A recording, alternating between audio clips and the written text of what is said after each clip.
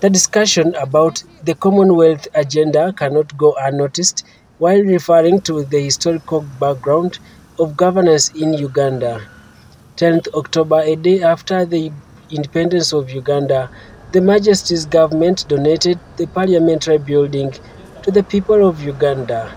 The ceremony was officiated by the Dutch of Kent accompanied by the Duchess of Kent. The Commonwealth doctrine derives its strength on peace, democracy and governance, which are shared by the 54 countries.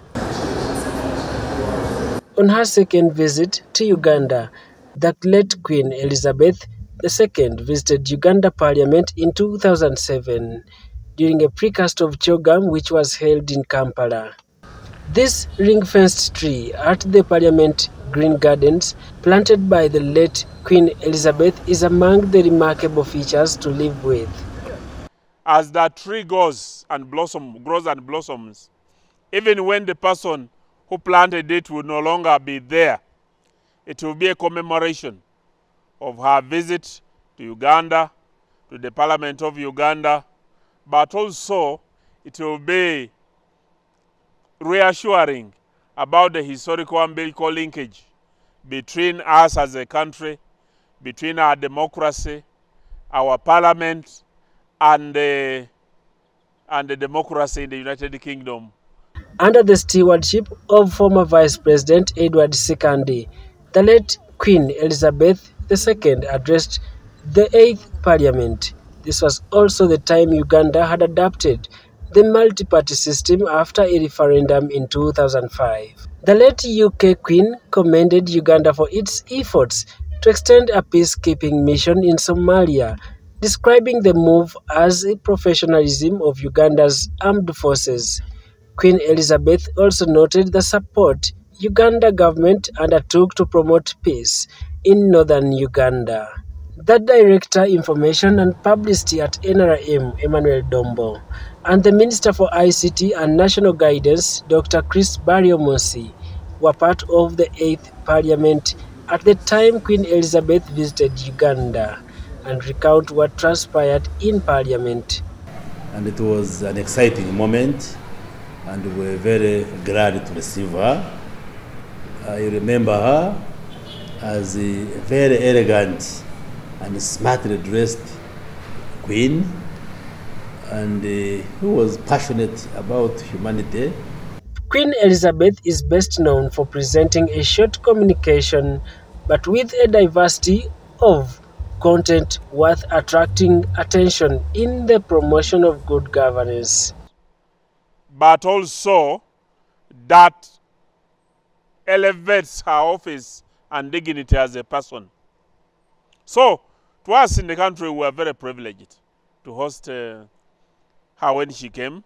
The Commonwealth system prevails in the Parliament of Uganda despite being slightly different from the House of Commons. Our source of training materials and induction to members of Parliament is usually the House of Commons or related legislatures which have a similar system from which we could benchmark. Dr. Chris Baryomunsi says Uganda needs to promote its own independent homegrown good governance practices and avoid being slaves to the colonial system. We should be able to pick lessons, practices over this period, and uh, even if it means dismantling the Commonwealth and the colonial legacy systems, we should and have our own way of looking at things. Baryomunsi asserts that despite the achievements obtained through foreign policies, Uganda is mature enough to drive its own system. We should not continue being slaves of the Commonwealth system. We have matured enough as countries which were colonized, and therefore we should also be able to examine some of these systems which were left and where they are not appropriate or they are not practical. Queen Elizabeth's 70 year accomplished leadership of the United Kingdom is also a food for thought for cultural leaders in Africa. Has managed to balance between the two and succeed as a nation. It is something that we can look at and find out whether there are any things that we can learn from in order to be replicated. Although unlike Uganda, we don't have one superior or singular traditional institution that encompasses the entire country. The late Queen Elizabeth first had a stopover at Entebbe International Airport in 1952 and then returned shortly after 1954 for the inauguration of the Owen Falls Dam and most recently in 2007 for the Commonwealth Heads of Government meeting that was held in Kampala. Daniel Mugoya, Dan Rugemwa, UBC News.